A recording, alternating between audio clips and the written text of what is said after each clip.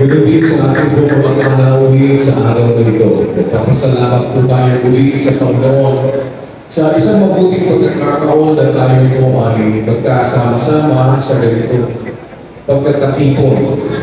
Alam po natin ang bawat pagkakatipon ating ginagawa ay isang paraan upang tayo ay makapagpatibayan ng mga magkakapatid. Ito ay isang paraan upang tayo ay patuloy na makapagpilinan at kaugyok sa pag-iibigan at pamumuting gawa. Kagaya ng lagi natin ipinapaalaala, ito'y katuwiran po na sinasabi ng Biblia na huwag natin papabayaan ang ating pagkakatipon. Kailanman po at mayroong pagkakatipon, may pagkakataon tayo ng mga magkakapatid na magkasama-sama. Isang bagay na sinasabi ng Biblia, yung sa Jesus 25 ng Pedro, na huwag natin pabayaan ang ating pagkakatipon. Lalo na kung nalalapit na ang araw, nakikita natin, higit tayong dapat na mag-aralan, higit tayo dapat na magtinginan, higit tayo dapat na magmalasakitan. Ito po ay katwirang sama-sama natin gagawin.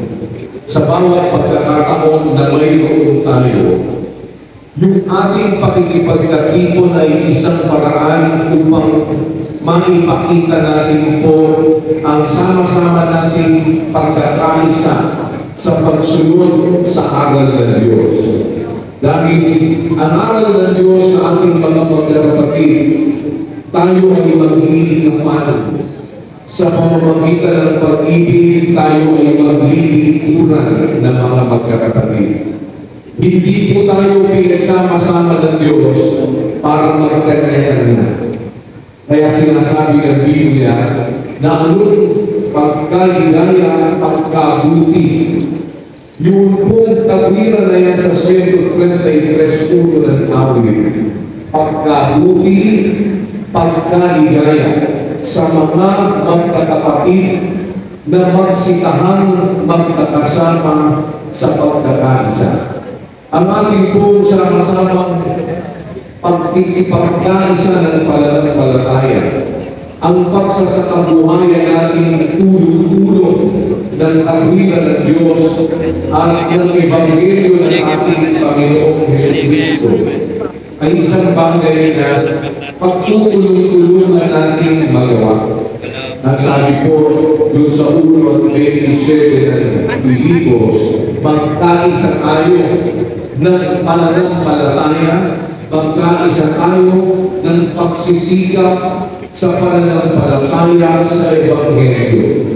Ang pananampalatayang ito sa Ebanghelyo ay pananampalatayang hindi patay.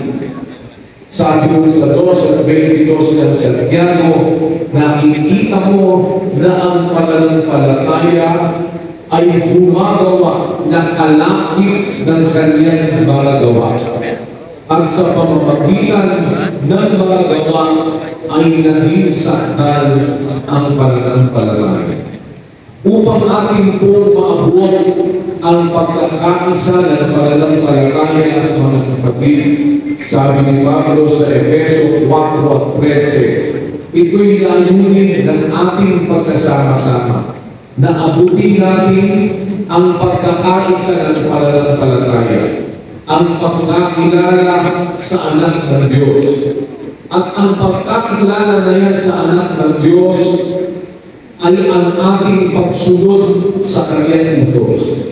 Na ang kanyang utos, tayo mga magkakapatid, mag-iibigan. Pag-iibigan na hindi sa salita, kung hindi sa gawa. Yan sinasabi po ni Juan sa 3 at 18, na mumunti kong mga anak, huwag tayong magsiibig ng salita. Di ng di naman, kundi ng gawa at katotohanan. Ano po ang halaga na sa bawat pagkakatipon may tayo, sabihin pang yan ay fiesta ng Diyos, sabihin pa na yan ay serbisyo kapatiran, harana sa kapatid, pagdalaw sa kapatid. Bawat pagkakataon na tayo'y magkakasama-sama, alamin natin ang sabi ng banal na kasulatan kung saan nandoon nagkakatipon, sabi sa 18 at 20 ng Mateo, ang dalawa o tatlo sa aking pangalan, naroon ako sa gitna nila. Kaya po, yung pagkakatipon ng mga lingkod ng Diyos, dalawa o tatlo, ito'y isang pagkakataong maipakilala ang ating Panginoong Heso Kristo. Isang pagkakataong magawa natin ang utos ng Diyos. Kaya sino ba ang magpapabaya sa pagkakatipon kung nasa isip po natin na ang bawat pagkakatipong ating pupuntahan o ano ang pagkakataong may dalawa, tatlong kapatid na magtitipon sa kanyang pangalan.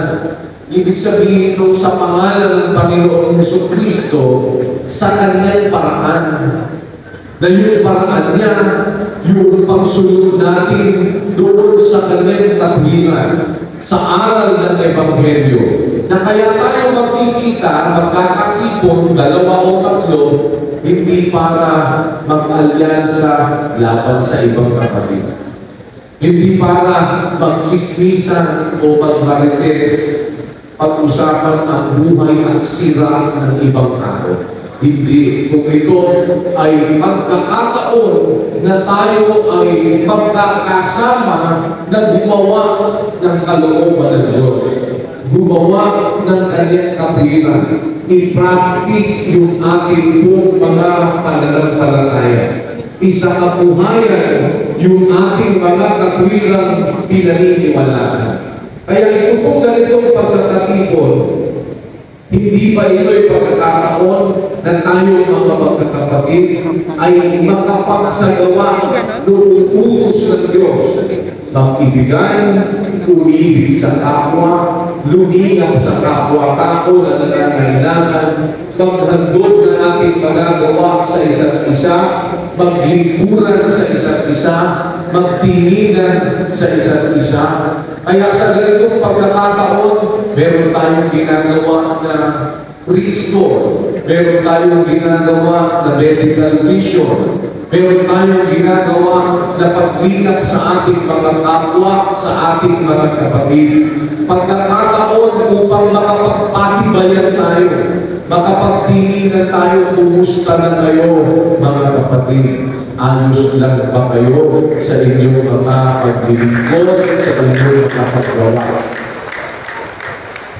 At sa pagkakataong kagaya nito, kung makita natin ang ating kapatid na nangangailangan, ang sabi ng Biblia, doon sa 3 at 17, ang sino mang mayroong mga pag-aari sa sanglibutan ito at nakikita ang kanyang kapatid na nangangailangan at doon ipagkain ang kanyang awa paano malanahan ang pag-ibig ng Diyos sa kanya.